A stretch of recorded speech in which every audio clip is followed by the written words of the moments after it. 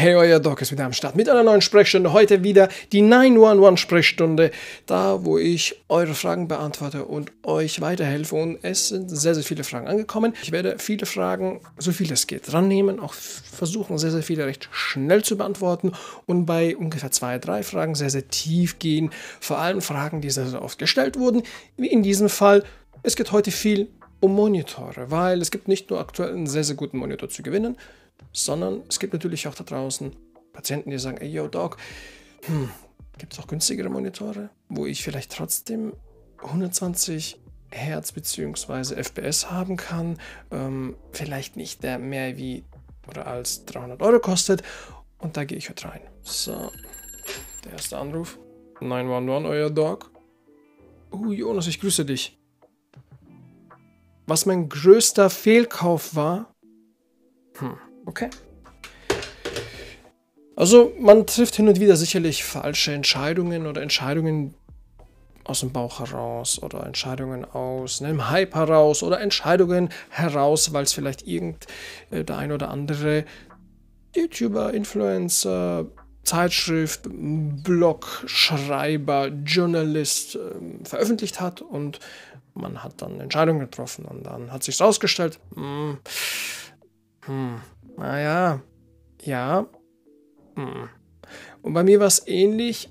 Letztes Jahr, glaube ich, oder vorletztes Jahr habe ich mir ein iPad gekauft und sehr viel Geld habe ich bezahlt. Echt, echt sehr viel Geld. Und sagen wir es mal so, ich nutze es täglich, ja.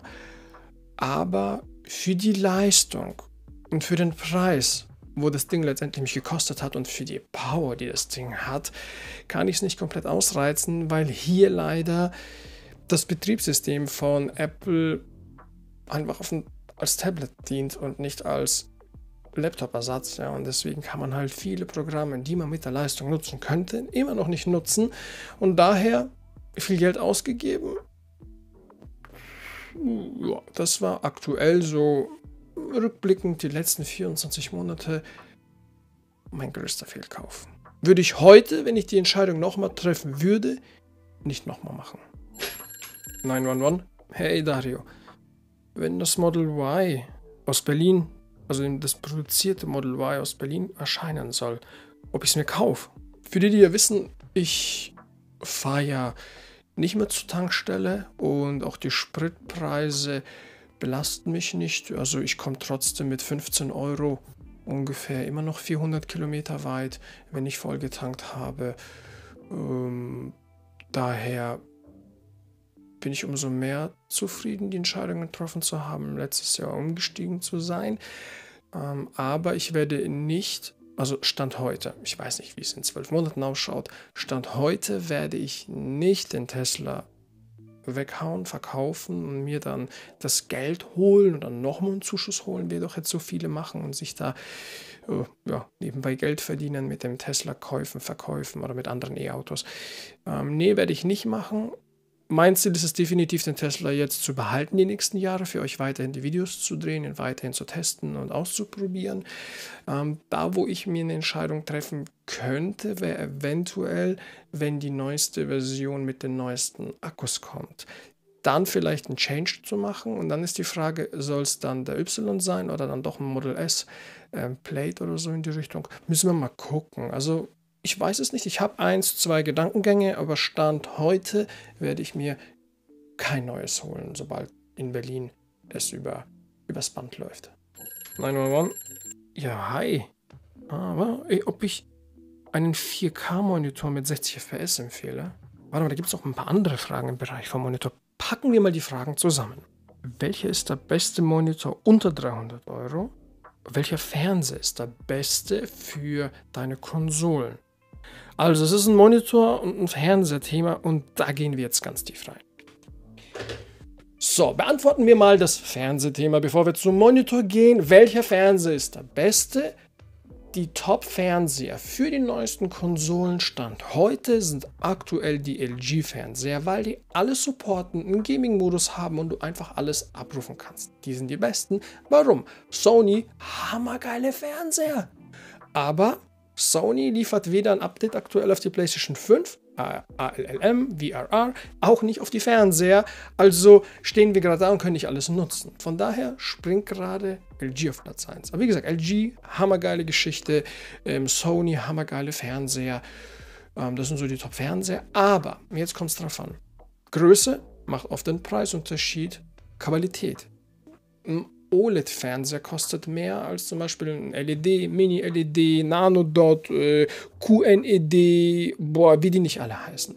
Du, da musst du dich mal reinarbeiten. Da gibt es verschiedene Fernseher. Die einen, wenn du im Wohnzimmer sitzt, die Sonne scheint, siehst du nichts. Die einen sind zu dunkel, siehst du nichts. Also es kommt wirklich ganz drauf an. Und hier musst du einfach gucken. Ich habe schon sehr, sehr viele Fernseher vorgestellt. Es gibt Fernseher mit HDMI 2.1, es gibt aber mit 2.0.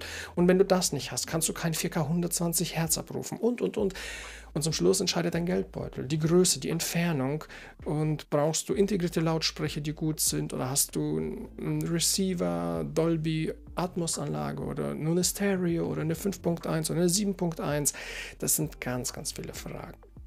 Ich kann nicht pauschalisieren und sagen, das, das, das ist der Beste. Ich kann dir ungefähr sagen, pass auf, diese Marke ist aktuell extrem gut aufgestellt, denn die unterstützt denn die unterstützt, wenn du das Geld hast, alle Funktionen. Aber wenn du zu mir kommst und sagst, na, ich will einen Monitor für 300, 400 Euro, irgendwo sind da Abstriche und äh, Monitor, Fernseher, irgendwo sind Abstriche.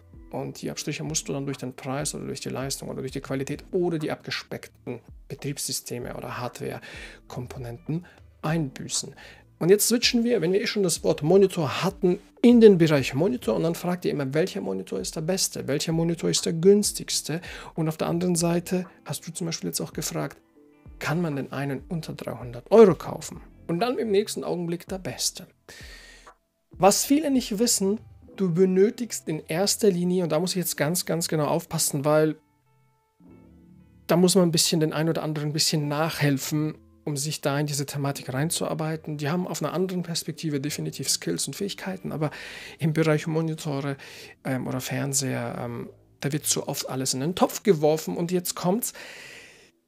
Nochmal. Darf mir jetzt auch noch nicht versprechen, ja. Also 4K 120 Hertz funktioniert nur mit HDMI 2.1. Diese Monitore sind extrem, extrem teuer, okay?